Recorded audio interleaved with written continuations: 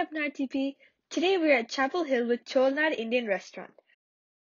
One dining experience here will exceed all of your expectations for sure.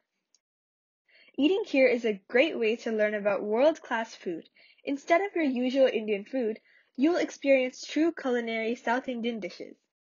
When you open the doors, one gets their first glimpse of the restaurant's grand stylish interior, spacious and welcoming.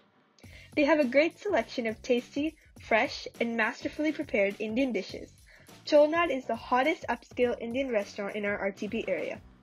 Whether you're in a mood for cocktail, mocktail, an organic drink to start off your meal, a yummy kick-off starter, a delicious soup, quick pickup dishes, or a complete meal, at CholaNad you can be pleasantly surprised at the variety of options you will get.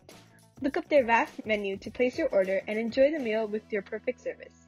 You will fall in love with the vibe, ambience, and food. This is a must visit place.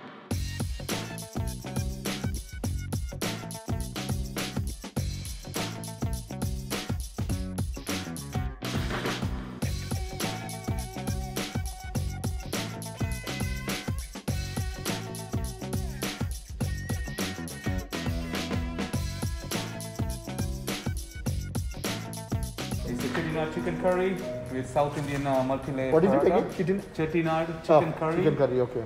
And it's served with uh, uh, paratha bread. It's multi-layered South Indian paratha bread. Okay. Usually we call it the lacha paratha. And that is next one is the chicken 65, the South Indian famous one. And another one is a sakara pongal, usually served in the uh, temples. And here, this is uh, chicken fried rice, South Indian chicken fried rice.